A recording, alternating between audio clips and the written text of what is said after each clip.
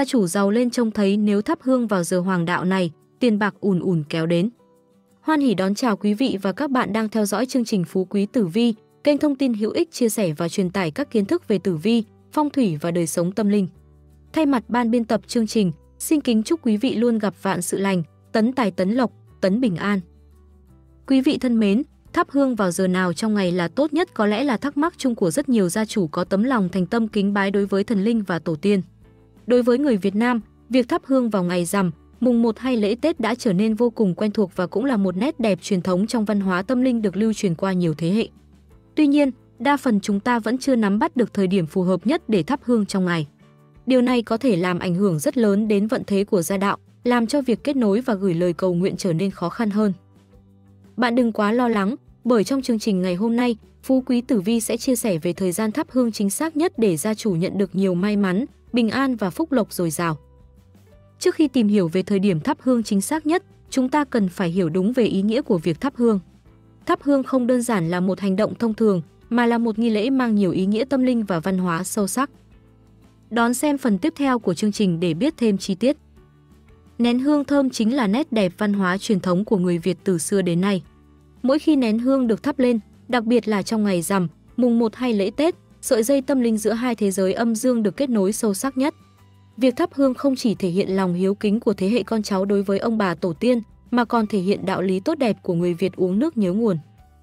Hiện nay, không chỉ vào những ngày dỗ chạp hay dịp lễ Tết, mà ngay cả những ngày bình thường, thắp hương cũng trở thành thói quen của nhiều gia đình. Mùi thơm dễ chịu của hương làm cho không gian ngôi nhà trở nên ấm áp và bình yên hơn. Hơn nữa, mùi thơm này của hương còn có tác dụng trừ tà, tẩy uế và đẩy lùi các loại âm khí, thu hút dương khí, mang lại bình an và may mắn cho gia chủ và các thành viên trong gia đình. Vậy gia chủ nên thắp hương vào thời điểm nào trong ngày là tốt nhất? Với những ý nghĩa tâm linh đặc biệt này, thời gian thắp hương tốt nhất trong ngày mà gia chủ nên ghi nhớ chính là vào buổi sáng sớm.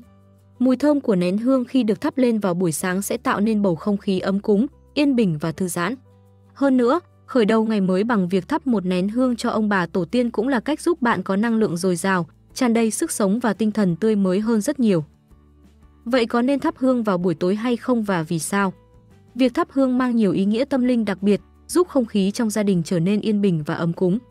Thắp hương vào buổi tối cũng có thể được thực hiện, nhưng buổi sáng vẫn là thời điểm tốt nhất để kết nối tâm linh và cầu nguyện cho một ngày mới đầy may mắn và bình an. Tuy nhiên, nhiều gia chủ không thể thắp hương vào buổi sáng do bận rộn với công việc. Vì điều này, không ít người thắc mắc liệu có nên kiêng thắp hương vào buổi tối hay không. Buổi tối thường là thời gian nghỉ ngơi của con người sau một ngày làm việc vất vả và cũng là lúc các thành viên trong gia đình tĩnh tâm, thư giãn. Vì vậy, thắp hương vào buổi tối là điều không nên, bởi vào thời điểm này, vong linh lang thang sẽ xuất hiện nhiều. Nếu gia chủ thắp hương và khấn vái không đúng cách, điều này có thể tạo cơ hội cho ma quỷ, vong linh xâm nhập vào gia đình gây rối loạn. Do đó, gia chủ nên kiêng thắp hương vào buổi tối vì những lý do tâm linh cũng như sức khỏe, đồng thời hạn chế nguy cơ cháy nổ. Đồng thời, khi thắp hương, các bạn nên lưu ý lựa chọn và sử dụng những loại hương sạch, có mùi thơm thuần mộc dễ chịu và có tính thư giãn. Dù thắp hương vào bất kỳ thời điểm nào trong ngày, gia chủ cũng cần ghi nhớ những lưu ý quan trọng sau. Thắp hương ở các địa điểm công cộng, nếu thắp hương ở các địa điểm như đình, miếu, đường xá, cần phải có bài văn khấn đúng để vong linh biết được lễ vật này dành cho ai. Nếu không có bài văn khấn, lễ vật sẽ vô chủ và bất kỳ vong linh nào cũng có thể nhận. Bên cạnh việc dâng hương với lời cầu nguyện thành kính, người cúng cần phải có sự chánh niệm. Sử dụng hương sạch, lựa chọn loại hương sạch, có nguồn gốc rõ ràng, mùi thơm dễ chịu và an toàn cho sức khỏe. Hương sạch không chỉ giúp không gian trở nên ấm áp mà còn tránh các tác hại của hóa chất trong hương kém chất lượng. Chú ý an toàn, đảm bảo an toàn khi thắp hương, đặc biệt là phòng ngừa cháy nổ. Không để hương cháy gần các vật dễ bắt lửa và luôn giám sát khi thắp hương. Tinh thần thành kính, khi thắp hương, giữ tinh thần thành kính, tôn trọng các nghi lễ và phong tục, tránh làm qua loa. Với những lưu ý trên, gia chủ có thể thực hiện việc thắp hương một cách an toàn và ý nghĩa, mang lại bình an và may mắn cho gia đình. Thứ hai, mỗi lần thắp hương trước bàn thờ tổ tiên, bạn cần phải dâng hương bằng cả tấm lòng kính cẩn của mình. Đồng thời, cần phải có sự chánh niệm với việc làm của bản thân. Hãy cắm nén nhang bằng cả hai tay một cách ngay thẳng, thể hiện tấm lòng chân thành, dù có phong ba bão táp cũng không làm lay chuyển. Nén nhang trầm với mùi hương thơm ngào ngạt tượng trưng cho sợi dây kết nối máu thịt giữa vong linh người đã mất và người đang sống trên trần gian. Thắp hương lên bàn thờ gia tiên và thần linh là việc làm mang ý nghĩa tâm linh sâu sắc. Tuy nhiên, có nên thắp hương hàng ngày không lại là điều không phải gia chủ nào cũng tìm được lời giải đáp phù hợp và đúng đắn. Vậy chúng ta có nên thắp hương hàng ngày trên bàn thờ hay không? Theo quan niệm trong thờ cúng hiện nay, thắp hương hàng ngày là việc gia chủ nên làm. Tuy nhiên, nếu gia chủ bận rộn và không thể duy trì thói quen này hàng ngày, thì chỉ cần thắp hương vào những ngày rằm, mùng 1, lễ Tết với chút hoa quả, lễ vật dâng lên ông bà tổ tiên để thể hiện lòng thành kính của mình. Nếu có điều kiện về thời gian, các gia chủ vẫn nên thắp hương hàng ngày là tốt nhất, bởi việc thắp hương lên bàn thờ sẽ làm cho không gian trong gia đình trở nên ấm cúng hơn, lòng người nhẹ nhàng và an yên hơn. Trong gia đình, ngoài bàn thờ ông bà tổ tiên và bàn thờ táo quân, nhiều gia đình hiện nay còn có bàn thờ Phật, bàn thờ ông địa và thần tài. Dù thắp hương ở bất cứ bàn thờ nào, gia chủ cũng cần phải ăn mặc chỉnh tề và khấn vái một cách thành tâm. Tóm lại, thời gian thắp hương hàng ngày phụ thuộc vào lịch trình của gia chủ. Theo đó, các gia chủ nên thắp hương vào mỗi buổi sáng trước khi đi làm hoặc buổi tối sau khi trở về nhà, nhưng nên thắp trước 7 giờ tối. Thắp hương quá muộn có thể khiến những sinh linh lang thang theo mùi hương mà đến quấy nhiễu, phá phách gia đình.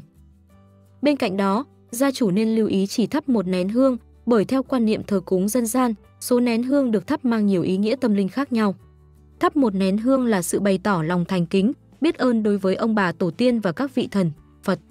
Đồng thời, khi thắp, bạn phải thắp bằng hai tay để thể hiện sự tôn kính đối với bậc bề trên và các vị thần Phật cao quý.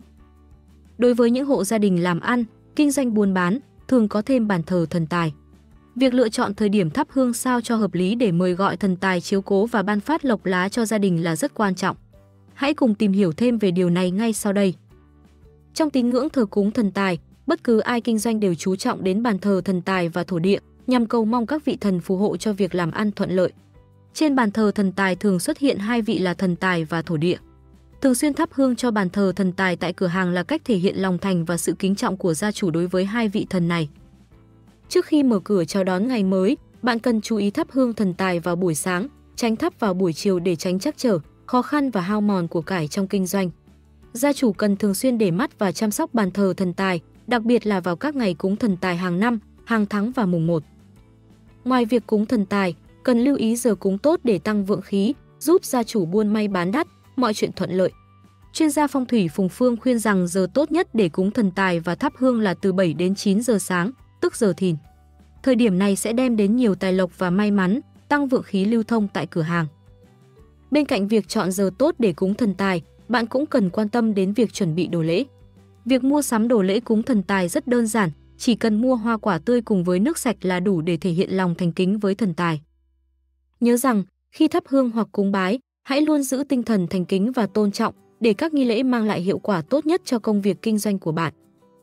Thưa quý vị thân mến, vậy là sau khi theo dõi chương trình ngày hôm nay, các bạn đã có câu trả lời chính xác nhất về việc nên thắp hương vào giờ nào trong ngày là tốt nhất. Hy vọng rằng những chia sẻ của Phú Quý Tử Vi sẽ giúp các bạn luôn được bình an và hạnh phúc trong cuộc sống. Cảm ơn quý vị đã quan tâm theo dõi chương trình. Còn bây giờ, xin chào và hẹn gặp lại quý vị trong các video tiếp theo. Chân thành cảm ơn.